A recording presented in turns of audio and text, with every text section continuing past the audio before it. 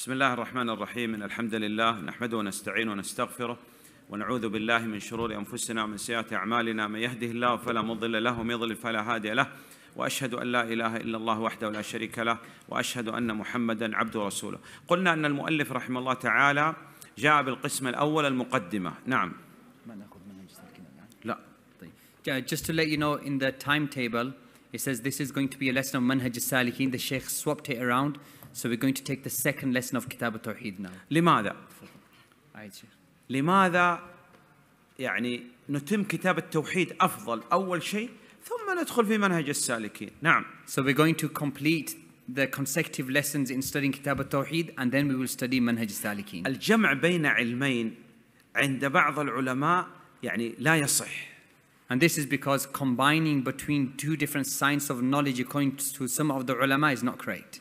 يقول الشناقطة The ulama of Mauritania they say وفي ترادف العلوم المنع جاء إن توأمان استبقا لن يخرجا تجمع بين علمين عندهم ممنوع. لماذا؟ قالوا إذا كانت المرأة عندها توأم في بطنها لا يمكن أن يخرج الجميع في وقت واحد لابد يخرج الأول ثم يخرج الثاني وهكذا العلم. نعم. So the ulama of Mauritania, they say that combining two sciences of knowledge at the same time is not good. Why? Because like a, a, a woman who is pregnant and she's carrying twins, it's not possible for both of the twins to be given birth at the same time. Rather, one comes first and then the other one is given birth to. نعم نتم إن شاء الله كتاب التوحيد ثم نبدأ منهج السالكين نعم So first we will complete Kitab al-Tawheed and then we will begin Manhaj جاء al-Salikin. بالقسم الثاني تفسير التوحيد So now the second section of Kitab al-Tawheed, which is an explanation of al-Tawheed. أعطنا التليفون Give me your mobile phone, main sheikh. نعم نعم ايفون نعم المشكلة جزاك الله خيرا هو ممكن يسجل يسجل Were you taking notes or? آه خلاص اجلس هنا ست ست. جزاك الله خير. جاء بتفسير التوحيد. نعم. So next the sheikh mentioned the explanation of Tawheed. أراد أن يب... يف... يفسر لك التوحيد يظهر لك التوحيد يشرك يشرح لك التوحيد. أي توحيد؟ The sheikh, he wanted to clarify التوحيد for you and explain التوحيد. But which Tawheed?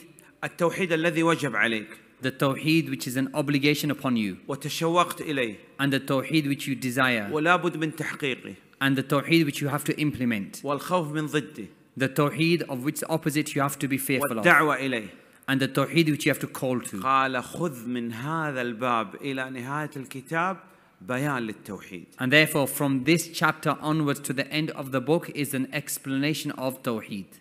في هذا القسم شرح التوحيد So, in the second section of Kitab al Tawheed, the author he explains at Tawheed. لكن شرح التوحيد بضده وبضدها تتبين الاشياء تقول ما هو القيام تقول ضد القعود العلم ضد الجهل نعم However, the author Imam Muhammad ibn Abdul Wahhab, rahimahullah, when he wanted to explain at Tawheed, he explained at Tawheed by mentioning that which opposes and contradicts at Tawheed because through understanding the opposites of something, you can understand that matter. For example, if it was said to you, What is standing? You say the opposite of sitting. What is knowledge? The opposite of ignorance. نعم بين انواع الشرك الاكبر الشرك الاكبر نسال الله العافيه والسلامه ينقسم الى اربعه اقسام The author he began by explaining the different types of major shirk, a shirk al-akbar. And major shirk, may Allah save us and pardon us from major shirk, it is divided into four types. نعم المحرمات درجات المحرمات عندنا التحريم على أربعة درجات على على درجات أربعة The levels of those matters which are haram are four types. There are four levels of forbidden matters. صغائر The minor sins, أعلى من الصغائر كبائر and then greater than the minor sins of the major sins, أعلى من الكبائر الشرك الأصغر And then greater than the major sins is minor shirk. أعلى من الشرك الأصغر الشرك الأكبر And then greater than minor shirk is major shirk. مرة أخرى One more time. صغائر Minor sins, كبائر major sins, أصغر minor shirk, أكبر and major shirk. تمام الصغائر The minor sins, كل محرم لم يرتب عليه ش- عقوبة خاصة any type of sin or any type of forbidden matter to which there is not a specific punishment associated to it, then this is a minor sin. كل ما رتب عليه عقوبة خاصة هذا كبائر And every type of forbidden matter to which there is a specific punishment connected, this is major sin. لعن طرد من رحمة For الله example, a curse from Allah, i.e., being far removed from the mercy of Allah, أو أن الله لا يحبه or that Allah does not love such an action or such a person, أو أنه ليس من المؤمنين أو من المنافقين نسأل العافية والسلامة or that a person does this action is not from the believers or he's from the munafiqeen, the hypocrites. كل ما رتب عليه عقوبة خاصة هذا كبائر Any sin which connected to it is a specific punishment, then this is a major sin. نعم فالكبائر لا تخرج من الملة And the major sins do not exit a person from the fold of Islam. فاعل الكبيرة The, wo- the person who f- performs a major sin, مؤمن كامل الإيمان is he a believer with complete iman كافر or is he a kafir? لا مؤمن ناقص الإيمان No, rather he is a believer, a mu'min, however his iman is deficient. مؤمن بإيمانه فاسق بكبيرته Or we can say that he is a mu'min according to his iman, but he is a fasiq according to his sin. يحب أو يبغض And this person, this believer who performs major sins, should he be loved or should he be hated? لا يحب ولا يبغض He's neither hated or loved completely. Rather, he's loved according to the level of iman which he possesses. And he is hated according to the level of sinning and fisq which he has. لا يجالس حال ارتكاب للمعصية. لا يجالس حال ارتكاب للمعصية يعني يشرب الخمر ما يمكن تجلس معه and also the person who is committing a major sin whilst he is committing that major sin should not be accompanied. Like, if a person is drinking alcohol, you do not accompany that person whilst he's drinking alcohol. هل تكفر بالعمل الصالح الكبائر؟ هل تكفر بالأعمال الصالحة مثل الصغائر الكبائر؟ لا نعم And also, the major sins, are they expiated on account of good deeds? No. لا بد لها من توبة خاصة Rather, the major sin has to have a specific tawbah repentance which is made. هل الكبائر مثل الشرك الأصغر؟ Are the major sins equal to minor shirk? لا الشرك الأصغر أعلى من الكبائر No. Minor shirk is more severe than the major sins. نعم ما الفرق بين الشرك الأكبر والشرك الأصغر؟ What is the difference between major shirk and minor shirk? الشرك ينقسم إلى قسمين So shirk is divided into two categories. أكبر وأصغر Akbar which is major shirk and asghar which is minor shirk. الأكبر مخرج من الملة And the major shirk it exits a person from the fold of Islam. الأصغر غير مخرج من الملة As for minor shirk it does not exit a person from the fold of Islam. الشرك الأكبر إذا مات عليه نسأل الله العافية والسلامة لا يغفر Major shirk if a person dies upon it may Allah save us and pardon us that person لا يدخل الجنة. لا يدخل الجنة وإذا مات عليه لا يغفر نعم. إن الله لا يغفر أن يشرك به If a person dies upon major shirk, that person does not enter into Jannah because Allah subhanahu wa ta'ala said, Verily Allah does not forgive for shirk to be associated with him. صاحب الشرك الأكبر نسأل الله العافية والسلام مخلد خلود أبدي في النار And the person who falls into major shirk, may Allah save and pardon us, will enter into the fire for eternity. الشرك الأصغر لا يخلد صاحبه في النار خلود أبدي As for minor shirk, a person who performs minor shirk does not enter into the fire for eternity. كل ما كان وسيلة للشرك الأكبر فهو أصغر And also, any action which is an avenue to major shirk is in of itself minor shirk. أن يأتي النص عليه أنه أكبر فهو أكبر يأتي النص عليه أنه أصغر قال أخوف ما خاف عليكم الشرك الأصغر نعم Uh, and, and also, if there is an evidence in the Quran or the Sunnah which mentions that this action is major shirk, then it is major shirk. And if it mentions that it is minor shirk, then it is minor shirk. إذا اعتقد أن له تصرف خفي بالكون أو بيده جلب المنافع دفع المضار هذا أكبر If a person believes that another person possesses control of existence or universe, or that in the hands and the ability of that person is the ability to benefit or harm, then this is major shirk. إذا اعتقد وجعل ما لم يجعل الله سبحانه وتعالى سبب سببا فهذا شرك أصغر However, if a person believes that something is a cause for some goodness or some harm, and Allah did not legislate that to be a cause, then this is minor shirk. نعم كل ما أطلق الشرع عليه أنه شرك أو كفر ولم يعرف بأل فهو أصغر اثنتان في الناس هما بهم كفر أصغر نعم Any evidence in, in, in the Quran or the Sunnah in which it has been mentioned absolutely without any restriction that this is kufr or shirk, and it is come in the indefinite form, meaning without the alif or lam, then that is minor, sh- minor shirk or minor kufr. Like, for example, the Prophet ﷺ said, there are two traits within the people, and they are kufr. And he did not mention alif lam. Thintani finnasi huma bihima hum bihima kufrun. And he did not mention alif lam.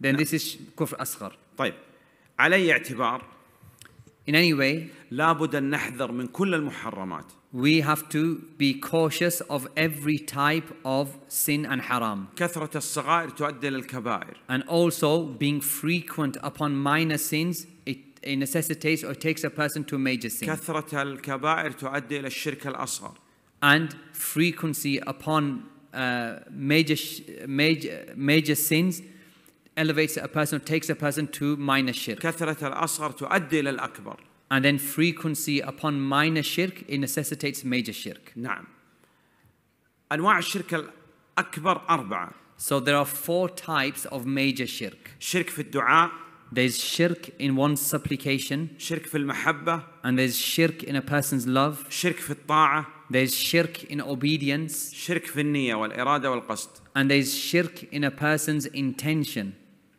شرك في الدعاء So, firstly, shirk in supplication. الدعاء ينقسم إلى قسمين Dua or supplications are of two types. دعاء عبادة First is dua al ibadah.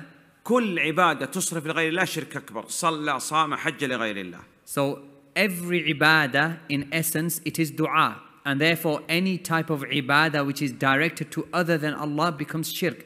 Salah, zakah, fasting, if it is directed to other than Allah, it is shirk. الثاني دعاء مسألة دعاء طلب أنا أقول لهذا اعطني كاسة ماء Secondly, is a request which a person makes. For example, I say to this brother, I request from you to give me a glass of water. هذا دعاء الطلب ينقسم إلى قسمين So, this request or this dua, which is a request, is of two types. فيما لا يقدر عليه إلا الله صرفه لغير الله شرك أكبر مثلا يأتي إلى قبر ويطلب منه إنزال الغيث أو أن يأتيه ولد مثلا هذا لا يقدر عليه إلا الله شرك أكبر So, the first type of dua, which is a request, is requesting something from somebody and he's not able to fulfill that request. For example, a person comes to the grave and he makes a request from the person in the grave for rain to be sent down. And that person has no ability to do this. Therefore, this dua or this request, it is shirk akbar. نعم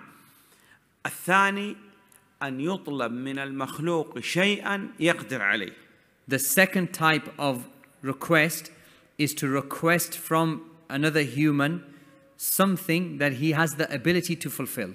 يصح بشروط أربعة أن أطلب من هذا شيء يقدر عليه And نعم. so it's permitted for a person to request from another being a request, but with four conditions which have to be fulfilled. أن يكون الطلب من حي لا من ميت Firstly, that your request is to a living person and not somebody who is deceased. أن يكون الطلب من حاضر لا غائب يعني حاضر هذا عندي خرج به ما لو طلب إنسان من الولي الذي في الهند يزعم على زعمي نعم And secondly, that you are requesting from somebody who is present with you.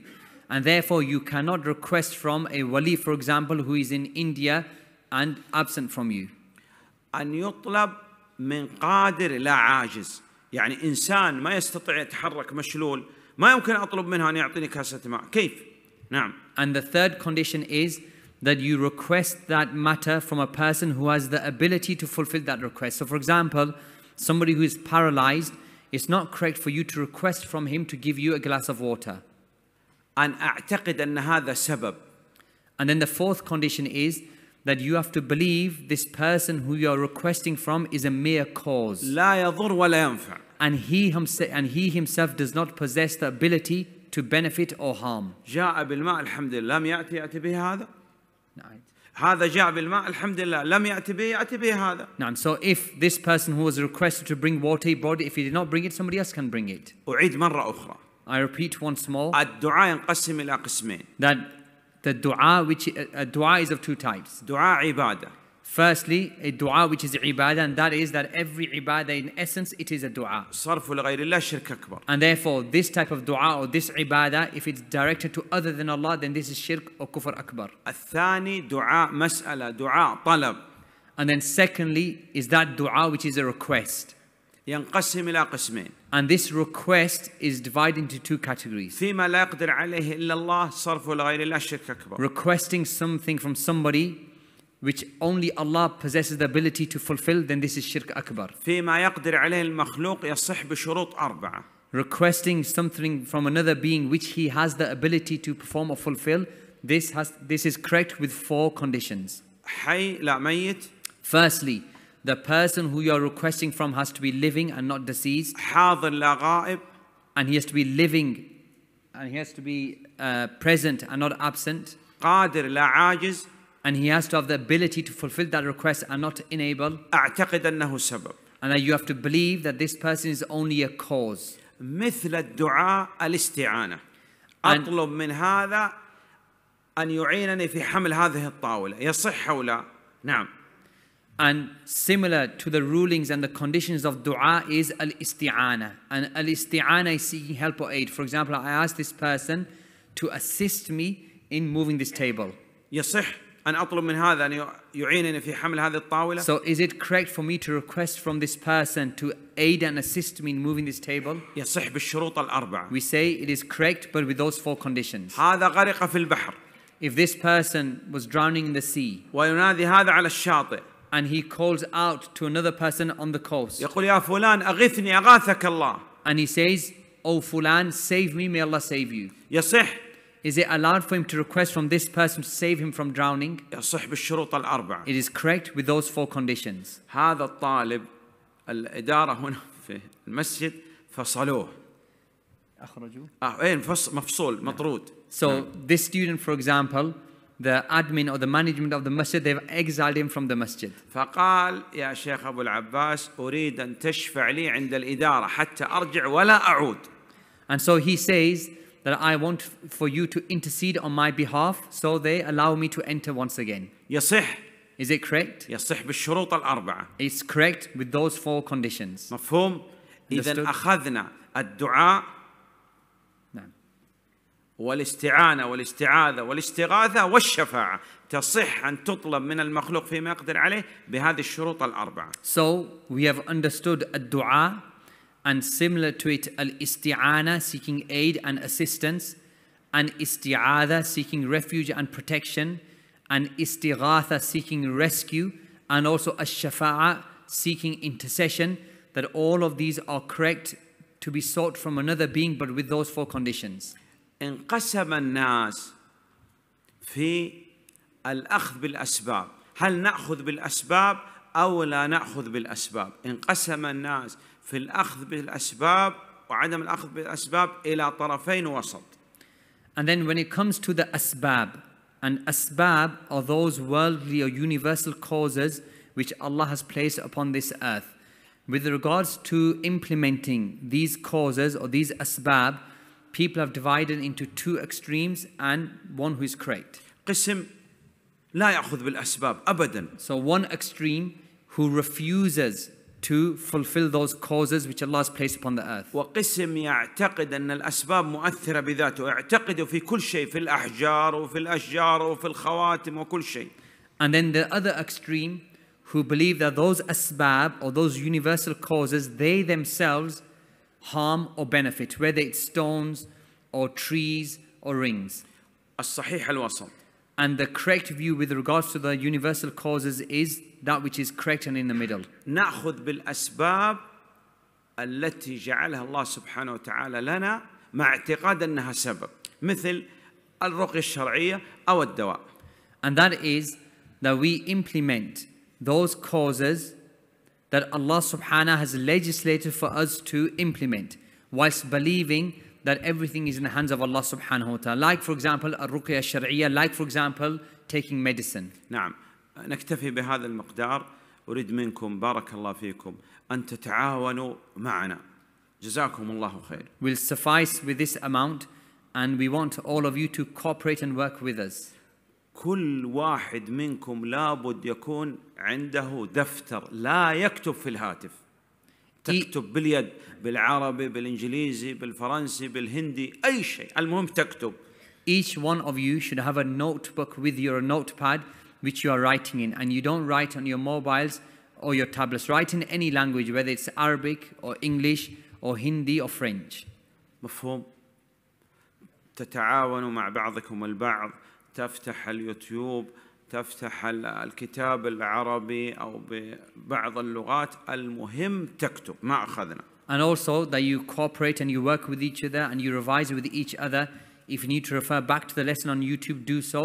If you've got Arabic books with you, revise from the Arabic books and write down the notes and the ان benefits. شاء الله غدا بعد صلاه الفجر آه، نختبر اختبار شفوي وتحريري باذن الله تعالى And then, inshallah, tomorrow, the first lesson after the Fajr prayer, there will be a quick recap and a quick test, an, an, an oral test. اذا لا تريد ان نمشي على هذه الطريقه نراجع ونكتب واسال سهل جدا غدا باذن الله بعد صلاه الفجر ساعتين اختم كتاب التوحيد انا استفيد وانتم لا شيء And if you Wallah. and if you're not pleased with this manner of us questioning and revising and repeating again and again, then it's easy. And that is tomorrow after Fajr, we'll have one lesson, two hours, and I can complete the whole book in two hours. I'll benefit, but you won't have benefited anything. ويخرج هذا يقول ما شاء الله علم كبير ما فهمت شيء And then نعم this then this person says such great knowledge that I didn't understand anything. عندنا في السعوديه يقولوا من حبك دبك نعم In Saudi, والله هذا اللي يحبك يقول احفظ راجع اكتب كن رجل كن طالب علم نعم In Saudi, we have a saying, and that is that the one who loves you pushes you. So the one who loves you tells you to learn and revise and memorize and be a man and be a talib al-ilm. اما اللي يقول لك العب وانت ما شاء الله طالب علم ما شاء الله لا تحفظ شيء لا تدرس As for the one who says play and relax, don't need to memorize, you're such a great talib al-ilm. الله يرضى عنكم نريد نتعاون يا إخواننا نريد نكون حقا طلاب علم نريد أن نخرج من هذه الدورة حتى ولو بعلم قليل لكن يضبط ضبط صحيح.